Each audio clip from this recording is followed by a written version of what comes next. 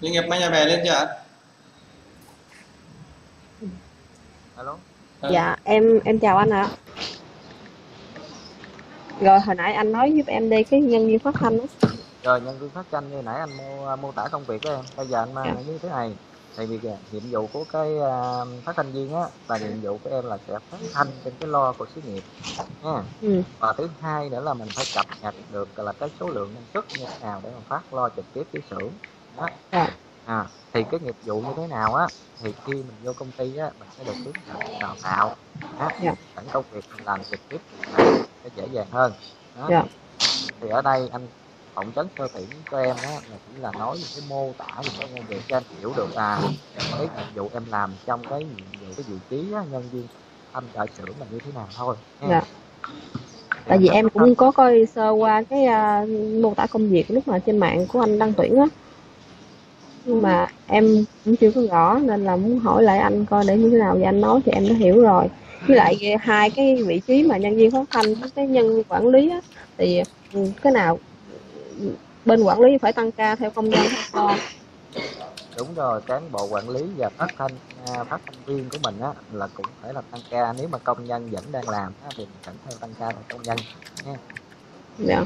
Tại vì em thấy ở trên ờ, đăng tuyển là nó là làm việc hành chính thì ủa thì công ty mình làm từ thứ mấy đến thứ mấy vậy anh? công ty mình làm việc là từ thứ hai đến thứ bảy luôn Thứ bảy thứ hai đến thứ bảy?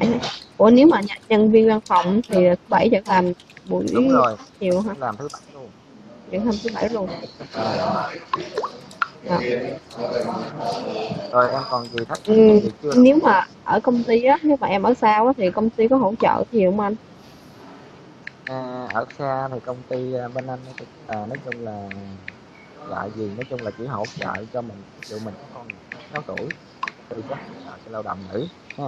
Dạ. thứ hai pháp phục bảo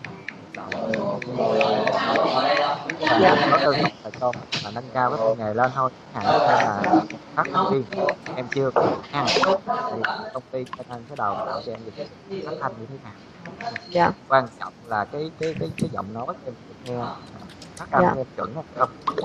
Dạ. và ngoại hình Dạ. cái chuyện vấn đề nghiệp vụ Với lại à, hai vị trí tuyển dụng này thì khi nào anh cần?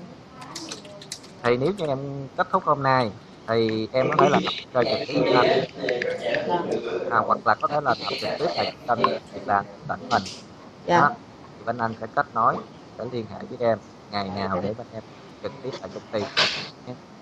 Dạ. Là là Rồi. ty để phỏng vấn hả?